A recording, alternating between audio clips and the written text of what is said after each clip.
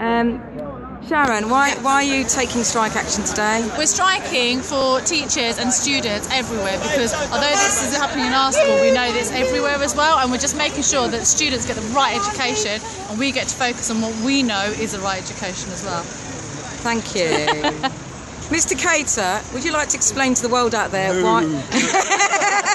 oh, we get quiet all of a sudden. No, I'm not good. I'm not good on social media. Just, just, just say No, one not- reason I'm why. Oh, just tell us one reason why you're out on strike today.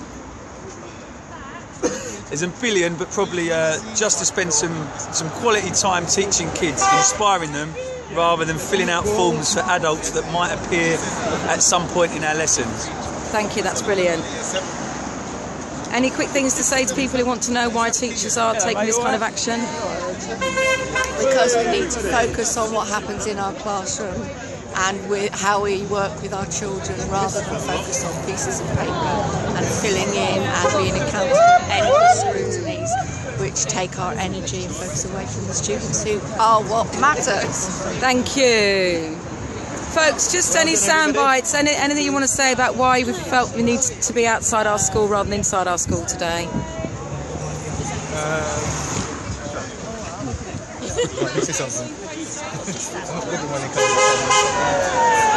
That's okay. Mental he- health, Mental health. yes. I know you just started joining teaching. What would you say to young teachers who, who are thinking about going into teaching now? At the moment, with the excessive workload, it's, uh, it's a bit difficult, so wouldn't really necessarily advise it.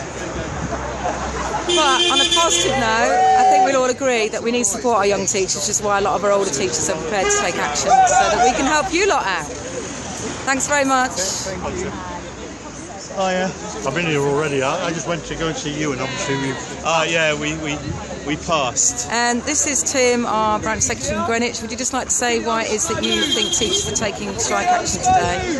Because teachers deserve lives, they deserve a life after school, and they deserve to be able to rest with their families at the end of the day, rather than work, work, work until they drop. Thank you. Is John Roan School. As you can see, teachers making a stand.